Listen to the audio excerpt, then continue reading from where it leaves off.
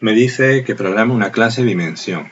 Dice que la clase dimensión define un grupo de medidas de un objeto. ¿eh? Una dimensión es un objeto que define una serie de medidas. Bueno, pues nada, me vengo al NetBeans.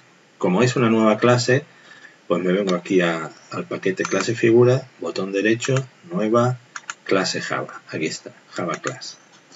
El nombre de la clase es dimensión.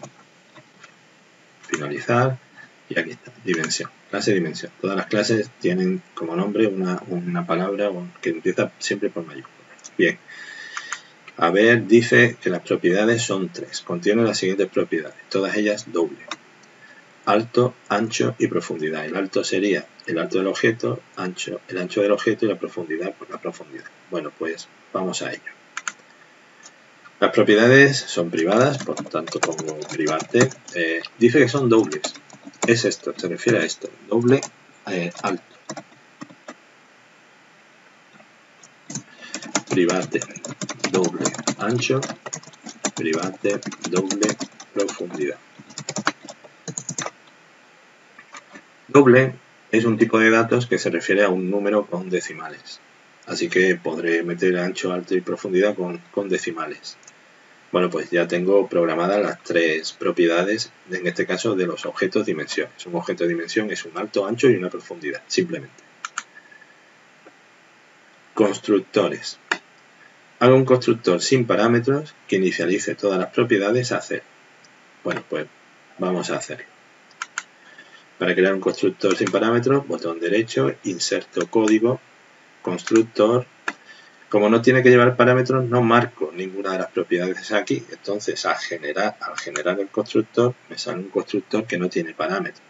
Pero al no tener parámetros, tú tienes que ser el encargado de definir la inicialización de las propiedades. Es decir, tú eres el encargado de decir qué propiedad, qué, qué valor tendrá para este alto, ¿no? para el alto del, objeto de dimensión. Y no sé si os habéis fijado en el, en el enunciado, dice que inicialice todas las propiedades a cero. ¿eh? Cuando es el constructor sin parámetros que le inicialice a cero. Bueno, pues entonces alto será igual a cero eh, dis.ancho será igual a 0 y dis.profundidad será igual a 0. Y así de sencillo sería el constructor sin parámetros. Sigamos con el enunciado.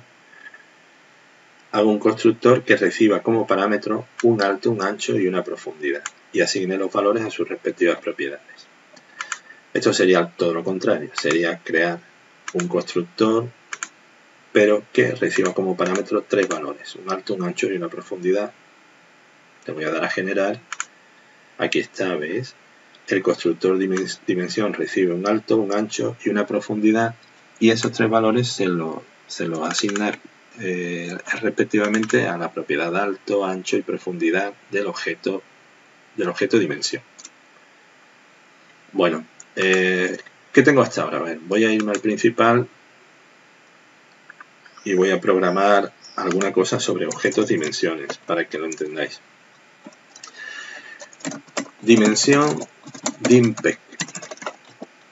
Estoy creando un objeto dimpec que sería un objeto, un objeto de tipo dimensión. Dimpec. ¿Por qué lo he puesto dimpec? Porque va a ser una dimensión pequeña. Y esto sería igual a new y construyo el objeto dimensión. Dimensión. ¿Qué es lo que estoy haciendo? Primero me da error porque no he programado o no está importada la clase dimensión. Voy a, arreglar ese error. Le digo importar clase figura. Y entonces, eh, perdón, importar clase dimensión. Y aquí está, ¿veis? La clase dimensión que está en el paquete clase figuras. Esto tendré que hacerlo con cada una de las clases que vaya programando, tendré que poner un import de cada una de las clases que hay dentro de clases figuras. Puedo hacer una cosa, puedo hacer una mejor. Puedo borrar esto, por ejemplo, y aquí en vez de dimensión poner un asterisco. Esto significa que me importe todas las clases que hubiera dentro de clases figuras. Y a partir de ese momento, cada vez que fabrico una nueva clase aquí dentro de figuras, pues ya no me va a dar error, porque él va a importar todo lo que yo meta aquí dentro. Entonces lo voy a dejar así y ya no voy a tener errores para las siguientes clases. Bueno, pues decía, estoy creando un objeto de IMPEC de tipo dimensión y lo estoy construyendo con el, el constructor sin defecto. ¿Qué, ¿Qué alto, ancho y profundidad tiene DIMPEC? Pues DIMPEC tiene de alto 0, de ancho 0 y de profundidad 0. ¿Por qué? Pues porque no he puesto ningún parámetro, ningún valor. Estoy usando el constructor sin parámetros. Voy a crear otro objeto de dimensión. Dimensión dim grande. así, dim grande, de grande. Igual a new dimensión. Voy a poner, por ejemplo, 20, 20, espérate, el alto, vamos a poner un alto de 70, por ejemplo. Ancho de 20 y profundidad de 20. En este caso sí estoy asignando valores porque estoy usando el constructor con parámetros. Así que realmente tú puedes usar o crear varios constructores en una clase y luego puedes usar el que te interese. Eh, en el caso del constructor con parámetros, la ventaja es que ya le das valores al objeto. El objeto de Ingra ya tiene estos valores, 70, 20 y 20, pero el problema del constructor sin parámetros es que el objeto de IMPEC no tiene ahora mismo valores. Bueno, tiene valores inicializados a cero. Pero si yo quisiera, por ejemplo, asignar a, a DIMPEC un valor, por ejemplo, al objeto DIMPEC, por ejemplo, cambiarle el alto, pues yo no puedo ahora mismo hacer esto. DIMPEC.alto igual a, sea 20, por ejemplo. No lo puedo hacer porque, pues porque alto es una propiedad privada. Para hacer eso necesito que DIMPEC tenga los set, los métodos set. Y a su vez también necesitaré los métodos get que me permitan obtener eh, información del objeto dimensión. Eso, eso es lo que me va a pedir ahora el enunciado. Efectivamente, ¿veis? Métodos get y set me pide que programe el objeto y los set para cada propiedad. Esto es igual que antes. Vengo aquí a dimensión, botón derecho y le voy a decir insert code y getter and setter. Le voy a dar aquí getter and setter y me va a programar los get y los set de todas las propiedades. Bueno, ya lo tengo aquí, ¿veis? Todo, todo un tirón. Los get y los set de cada uno. Get y set, get y set. Eso significa que ahora en el principal pues puedo cambiar, ¿eh? puedo cambiar las... Perdón, voy a poner este constructor, lo voy a cortar, lo voy a poner aquí arriba, es que me gusta que los constructores estén al principio de la clase, ¿eh? es lo correcto. Y ya luego los get y los set. Decía que voy a probar los get y los set que acabo de programar, me vengo al principal y podría poner esto, por ejemplo, dimpec.set alto, set alto, paréntesis 20, y aquí tengo, ¿vale? He asignado el alto a la dimensión pequeña. Ahora, dimpec.set ancho, ancho, por ejemplo, 5. Y dimpec punto set profundidad pues 6 es decir ahora el objeto dimpec es o tiene las siguientes propiedades. Alto igual a 20 ancho igual a 5 y profundidad igual a 6 seguimos con el enunciado. Métodos de cálculo y un método toString. voy a hacer primero el método toString para poder probar la clase.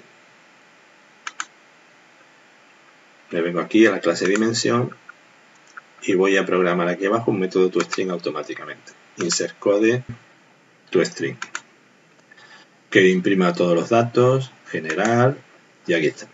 Eh, me va a imprimir una dimensión, alto, ancho y profundidad. Así que vamos a hacer una prueba gracias al toString en el principal.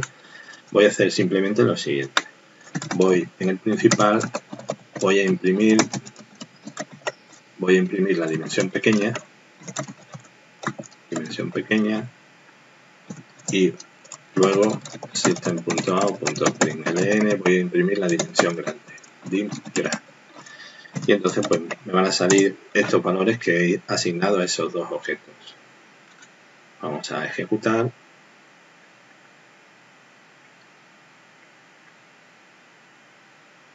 Y aquí está, ¿veis? La primera dimensión que es 20, 5 y 6. Esta es la dimensión pequeña y la otra dimensión, la grande, que era 70, 20 y 20. ¿Eh? Aquí está, ¿lo veis? Me está imprimiendo gracias al toString. Bien, Sigamos, porque en el enunciado me decía métodos de cálculo. programe un método llamado getVolumen que devuelva el volumen máximo que ocuparía el objeto y se calcula alto por ancho por profundidad. Vamos a hacer ese método. Me vengo a la clase dimensión. Ese método no es un método estándar, por tanto, no lo, digamos que no lo voy a poder, eh, no lo voy a poder añadir automáticamente, sino que lo tendré que programar por mi cuenta. Bueno, pues tendrá que ser público para que se pueda usar desde fuera de la clase y tiene que devolver un cálculo, concretamente un volumen. Ese volumen será un valor doble, tendrá decimales. Y el nombre del método me dicen que tiene que ser getVolumen. No lleva parámetros, no hace falta ningún parámetro para hacer el cálculo, así que así es. Abro llaves, cierro, ¿y qué es lo que tengo que hacer? Pues tengo que devolver por eso pondré un return, tengo que devolver un cálculo y el cálculo es la multiplicación del alto por el ancho por la profundidad. Pues es muy sencillo, es la propiedad alto multiplicada por la propiedad ancho multiplicada por la propiedad profundidad. Y nada más, aquí lo tengo. Esto en realidad se podría se podría, por ejemplo, en el principal, pues hacer algo así. Eh, System.out.println podría poner eh, volumen de la dimensión pequeña. Y concateno, fijaros, concatenar, concatenar una cadena, ¿veis? Esto es una cadena y para concatenar se usa el más. Esto eh, no lo he comentado, esto se ve por ejemplo en los toString. En los métodos toString se ve que hay datos que se van concatenando usando el más. Y lo que voy a, lo que voy a concatenar es el objeto dimpec.getVolumen. Es decir, lo que estoy haciendo es al objeto dimpec, dimensión pequeña, le estoy pidiendo su volumen. Estoy llamando a ese método para que se calcule el volumen de la dimensión pequeña. Y ese resultado se está concatenando con volumen de la dimensión pequeña. Es decir, va a salir en pantalla el siguiente texto. Volumen de la dimensión pequeña, dos puntos, y el volumen de la dimensión pequeña, que debería ser pues 20 por 5 por 6. Vamos a comprobarlo